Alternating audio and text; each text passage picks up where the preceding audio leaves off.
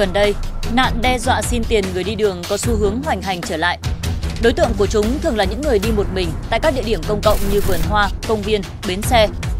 Nếu nạn nhân phản kháng, chúng sẵn sàng có những hành động đe dọa gây nguy hiểm.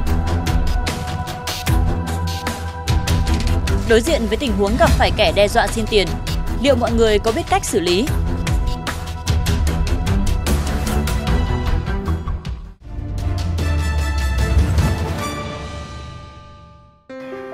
Công viên buổi sớm yên bình.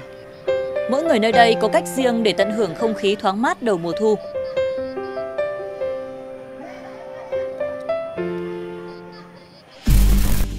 Một đối tượng với dáng vẻ lấm lét liên tục đi lại quan sát. Thấy chàng trai trẻ đi một mình tại nơi vắng người, hắn ngay lập tức tiếp cận. Vì em đang khó khăn, anh có thể cho em à, xin ít tiền được không ạ? Bao nhiêu ấy? Cái này tùy anh thôi ạ. Trước hành động xin xỏ của người lạ, chàng trai tỏ ra khá bối rối. Cho em à, xin ít tiền này.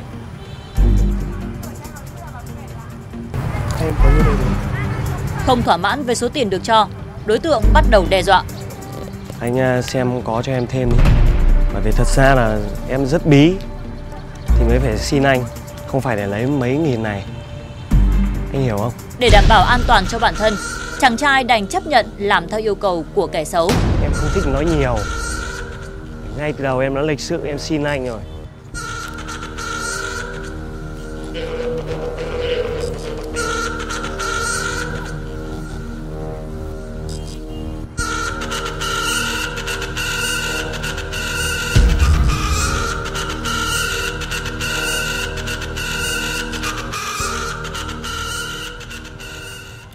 Anh ấy hỏi xin thì đầu tiên em chỉ nghĩ là anh ấy kiểu ờ, người khó khăn thôi. Thì em đưa một bức tiền nó rất là nhỏ nhưng mà khi mà anh ấy đưa ra cái cái, cái ống tiêm như vậy thì em cũng hơi sợ một chút. Nếu mà mình hô lên thì không may người ta làm gì mình mình không thể kịp trở tay được. Nếu như mà đen hơn nếu mà không cầm đủ tiền thì chắc là phải chạy thôi. Còn để mà tự vệ hay như nào đấy thì thực sự là em chưa chưa chưa có biết nhiều.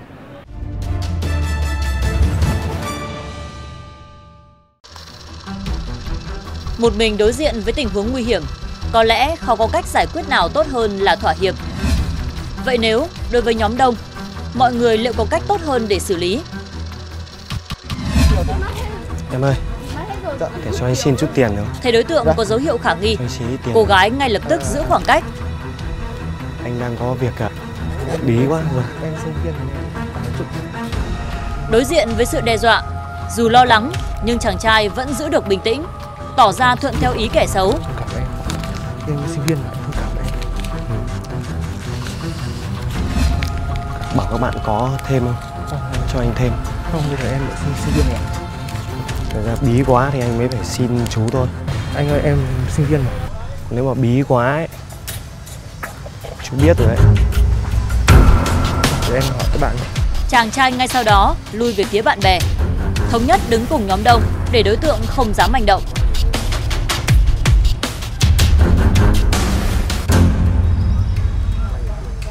Đến lúc mà anh ấy rút cái kim tiêm ra ấy thì em nghĩ lại là thôi thà mình mất ít tiền đi còn hơn là đừng có sức vấn đề gì đối với, đối với mình.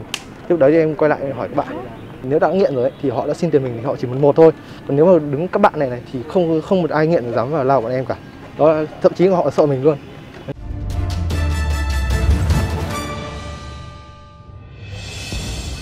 Đối tượng tiếp tục tiếp cận một đôi trai gái trẻ.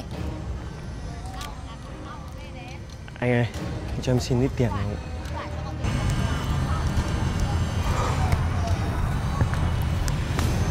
Mấy chục nhá. Ờ, ừ, xin. Cho em thêm được không ạ? Không được. Chàng trai nhất định không thỏa hiệp với sự đòi hỏi của kẻ xấu. Cho em thêm à, ít nữa. Lần này không đủ không được không được. anh chỉ hỗ trợ em thế thôi bởi vì là em cũng là thanh niên anh không thể hỗ trợ em thêm được nữa Em nói thật với anh, em không còn gì để mất chứ cả. Có thì anh giúp em đi. Nhận thấy đối tượng có dấu hiệu manh động, anh lập tức đứng lên, ra hiệu cho bạn gái thoát thân để đảm bảo an toàn.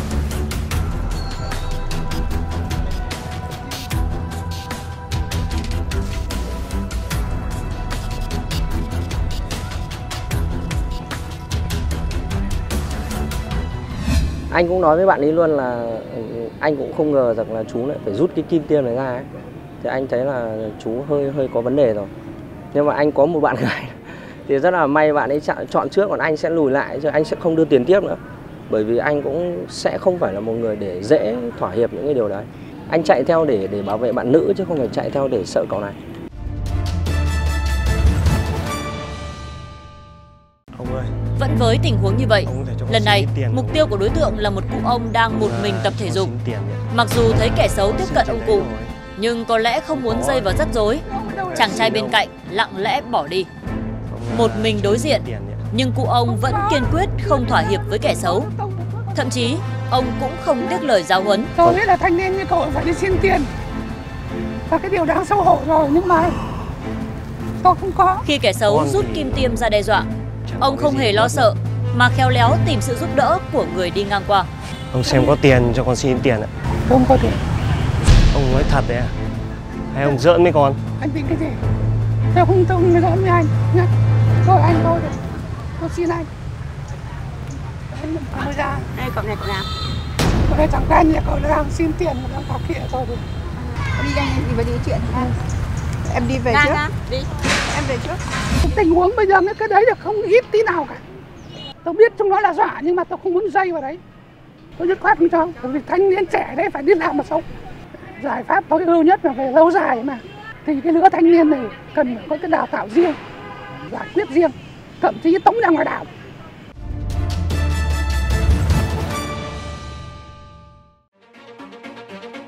Nạn đe dọa xin tiền vẫn đang diễn ra với các thủ đoạn ngày một manh động hơn.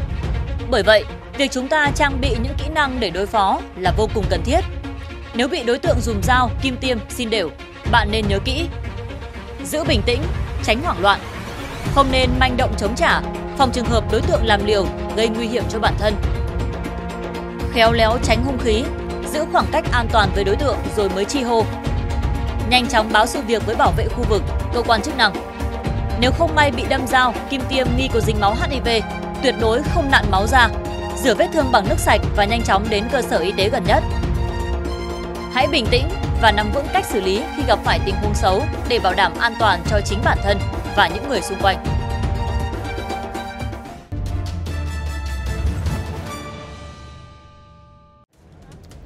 đi về nhà Không về. Thế giả bánh đấy. giả bánh ở nhà có thiếu ăn nhiều đâu về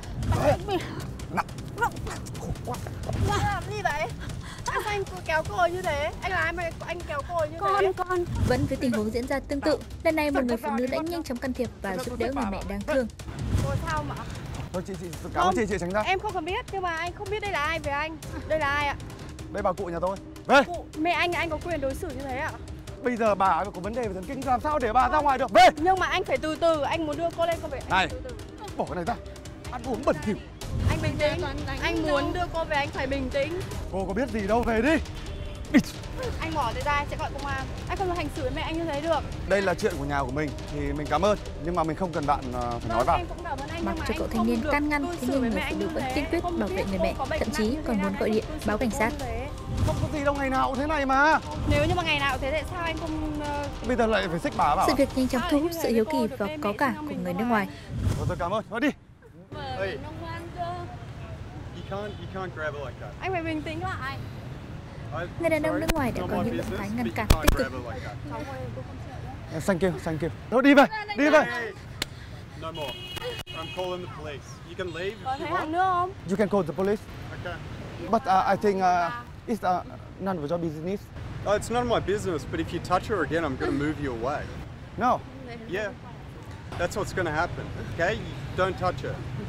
I don't know what's going on. It's not my business, yes but don't fucking grab her Em ở đây again. xem đây là đường phố understand? gì? Sad, uh, like sad and scared for her. yeah Yeah. and uh, Upset. if Uh, beat her well, we would fight. I would have to fight you. Yeah. yeah. Người cao tuổi là đối tượng cần được sự quan tâm đặc biệt của gia đình và xã hội. Pháp luật hiện hành đã có quy định rất rõ về những hành vi bất hiếu của con cháu. Căn cứ vào tính chất, mức độ nghiêm trọng của hành vi, người nào có hành vi ngược đãi hành hạ ông bà, cha mẹ và người già có thể bị phạt hành chính hoặc bị truy cứu trách nhiệm hình sự. sẽ chẳng có bản án nào đủ dành cho những đứa con bất hiếu với những người đã sinh thành ra mình. Có chăng đó chính là tòa án lương tâm. Hãy mạnh mẽ lên tiếng và hành động vì những hành vi đáng bị cả xã hội lên án này.